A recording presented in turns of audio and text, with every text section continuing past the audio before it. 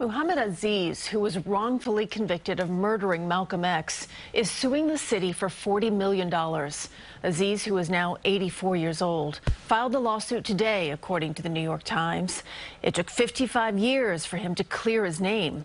Aziz and Khalil Islam, who died in 2009, were exonerated last November. Police misconduct is alleged. Aziz spent 20 years in prison for the 1965 murder of Malcolm X inside the Audubon Ballroom in Upper Manhattan.